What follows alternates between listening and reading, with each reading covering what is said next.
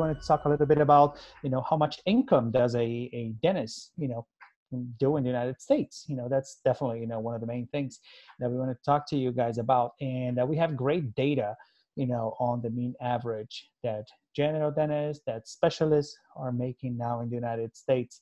Uh, we are basing ourselves from data from the national census in the United States plus IRS, you know, uh, uh, information, which basically, you know, cross references location with income, right?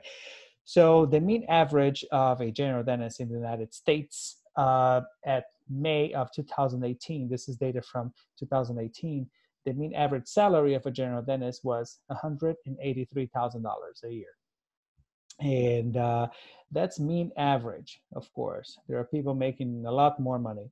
I'm a pediatric dentist myself but we do have uh, general dentists you know in the practice that, the, that i work here in michigan and they're making you know more than $300000 a year. So yes you do have you know exceptions up and down of course. And you know then it, it comes to a level of subjectivity you know your own you know proficiency you know in the dental field. But uh, basically there's a lot of exceptions. And specialists you know they make a mean average of $240000 a year. And that's just mean average again. There are people people making much more than that. You know in our practice we have you know pediatric dentists reaching four five hundred thousand dollars a year.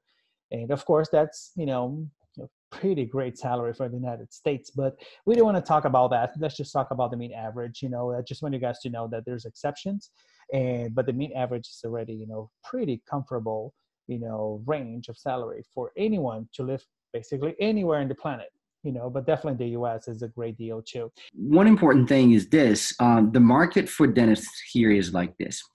It is projected every year for all statistics that you see on the bureau of labor, of labor statistics on the census that they make that they have um, uh, frequently the market is growing at a faster pace than any other profession for that for mo- than all, uh, most of the other professions. So um, there's a about 20% increase uh, projection in the next five years. Um, there is high uh, the, the, the, unemployment rate for um, dentists is about 0.9% which basically makes me think that if you if you if you're a dentist and you're unemployed, it's basically because you don't want to work. Um, um, that the average, the range, like Christian said, of uh, income is from 183 to 240, 250.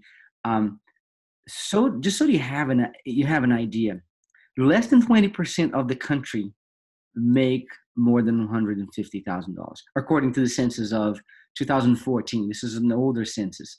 Um, less than 1% of the country makes more than $400,000. Household income, this is not individual, great point. This is for a family of usually four, depending on what how the statistics are run. Um, um, and this is in the richest country of the world. So what this allows you allow you is to have freedom to do basically what you want. It's not money. I mean, not, we don't want to uh, imply that you're going to get here and in one year you're going to get rich. You're going to do what you want. You're going to buy what you want. It's just freedom for you to grow with your income, grow within your profession. I am very fortunate that I chose dentistry.